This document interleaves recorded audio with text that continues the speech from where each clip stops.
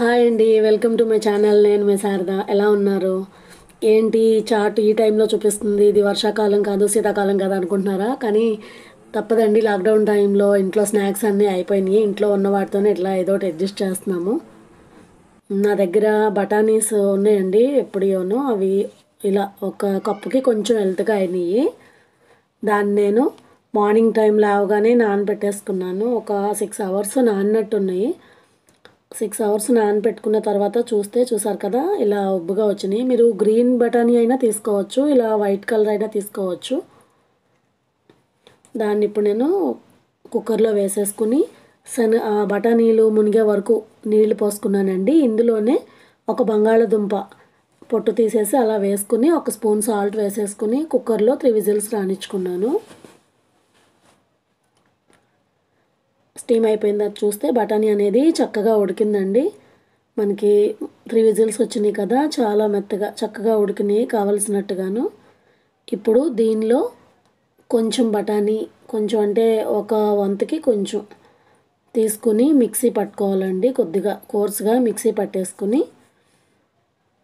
మిగతా సగం అలా ఉంచేసుకోవాలి. మిగతా దాన్ని మనం ఇలా పప్పు గుత్తుతో కానీ ఏదైనా గరిటతో కానీ కొద్దిగా స్మాష్ చేసినట్టుగా మరీ కాదండి కొద్దిగా జస్ట్ బఠానీ చితికినట్టుగా అనిపించేలాగా కొద్దిగా అలా చేసుకోవాలి. తర్వాత ఒక మూకుడు పెట్టుకుని దానిలోకి నేను రెండు స్పూన్ల ఆయిల్ అనేది యాడ్ చేసుకున్నాను. ఒక మీడియం సైజు ఆనియన్ని పేస్ట్ చేసుకుని ఇలాగా ఆయిల్లో వేసేసుకుని ఫ్రై చేసుకోవాలి. ఈలోగా నా ఛానల్ని ఫస్ట్ టైం చూస్తున్న వాళ్ళైతే సబ్స్క్రైబ్ చేసి పక్కనున్న బెల్ ఐకాన్ని క్లిక్ చేయండి. ఈ ఆనియన్ పేస్ట్ ఫ్రై అయిన తర్వాత దీనిలోనికి ఒక స్పూను అల్లం వెల్లుల్లి పేస్ట్ అనేది మనం యాడ్ చేసుకోవాలి. అల్లం వెల్లుల్లి పేస్టు ఆనియన్ చక్కగా మంచిగా ఫ్రై అయిపోవాలండి పచ్చివాసన పోయే వరకును. అవి రెండు ఫ్రై అయిపోయిన తర్వాత నేను ఒక రెండు టమాటాలని ఇలా ప్యూరీ చేసి పెట్టుకున్నానండి. ఆ టమాటా ప్యూరీని ఆనియన్ పేస్ట్లో వేసేసుకుని దాన్ని కూడా మనం ఫ్రై చేసుకోవాలి. చక్కగా ఫ్రై అయిన తర్వాత మనకి ఇలా ఆయిల్ అనేది పైకి కనిపిస్తూ ఉంటుంది. ఇంకా అప్పుడు మనం మిక్సీ పట్టుకున్న బఠానీ పేస్ట్ ఉంది కదండి ఆ బఠానీ పేస్ట్ వేసేసుకుని పక్కన పెట్టుకున్న మిగిలిన బఠానీలు కూడా మనం దీనిలో వేసేసుకోవాలి. వాటర్తో సహా వేసేసుకోవచ్చండి. ఒకసారి కలుపుకున్న తర్వాత దీనిలోకి మనం ఇందాక సాల్ట్ అనేది యాడ్ చేసుకున్నాం కాబట్టి కొద్దిగా తగ్గించి వేసుకోవాలి. సాల్ట్ సరిపోకపోతే మళ్ళీ వేసుకోవచ్చు. ఒక హాఫ్ టూ స్పూను సాల్ట్ వేసుకున్నాను. ఒక స్పూన్ కారం వేసుకున్నానండి. కొద్దిగా పసుపు కొద్దిగా జీలకర్ర పొడి కొంచెం ధనియాల పొడి ఒక పావు టీ స్పూన్ గరం మసాలా వేసుకున్నానండి. మీ దగ్గర చాట్ మసాలా ఉంటే వేసుకోవచ్చు. నా దగ్గర లేదని నేను గరం మసాలా వాడాను.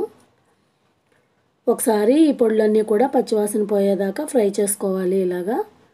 తర్వాత మనకి అవసరం అనుకుంటే కొద్దిగా వాటర్ పోసుకోవాలండి. కొద్దిగా వాటర్ అనేది యాడ్ చేసుకున్నాను. చేసిన తర్వాత వాటర్ అంతా దగ్గరికి అయ్యే వరకు మనం స్టవ్ మీద ఉంచి తిప్పుతూ ఉండాలి. చూసారు కదా చాట్ అనేది దగ్గర పడింది. ఈ కన్సిస్టెన్సీలో ఉంటే సరిపోతుందండి. ఎందుకంటే మనం దించిన తర్వాత కూడా చిక్కబడిపోతుంది కాబట్టి ఇలా సరిపోతుంది. ఇప్పుడు దీనిలోకి ఒక రెండు నిమ్మ చెక్కలు పిండేసుకోవాలండి. మీ దగ్గర వెనిగర్ ఉన్నా వేసుకోవచ్చు. దీన్ని నేను ఒక డిష్లోకి తీసేసుకున్నాను ఇప్పుడు. చూసారు కదా ఇందాక పలుచగా ఉంది ఇప్పుడు చాలా దగ్గరికి వచ్చేసింది. ఇప్పుడు దీనిలోకి సన్నగా తరిగి పెట్టుకున్న ఉల్లిపాయ ముక్కలు మీకు ఇష్టమైతే టమాటా ముక్కలు కొంచెం కొత్తిమీర అన్నీ వేసుకుని పైన వేసేసుకోవాలండి.